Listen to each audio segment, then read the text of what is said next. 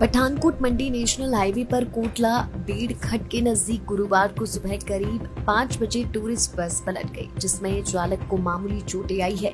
जानकारी के अनुसार गुरुवार को सुबह बेड़ खट के नज़दीक पठानकोट से कांगड़ा की तरफ़ जा रही टूरिस्ट बस अचानक सड़क पर पलट गई तथा शोर सुनकर आसपास के लोग वहाँ आए। स्थानीय लोगों ने चालक को बाहर निकाला तथा उसको अस्पताल में उपचार हेतु भेजा गया। गनीमत ये रही कि टूरिस्ट बस में अन्य कोई नहीं था। अन्यथा कोई बड़ा हादसा हो जाता।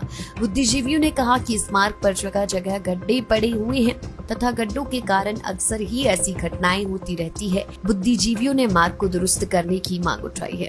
लाइफ टाइम्स टीवी के लिए जवाली से अनिल छांगू की report Pathankot Mandi national highway पर कोटला बेड़ खट के नज़दीक गुरुवार को सुबह करीब पाँच बजे टूरिस्ट बस पलट गई, जिसमें चालक को मामूली चोटें आई है।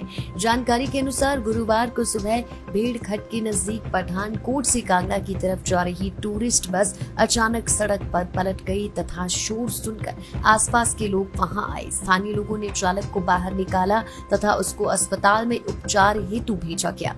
गनीमत ये रही कि टूरिस्ट बस में अन्य कोई नहीं था। अन्यथा कोई बड़ा हादसा हो जाता।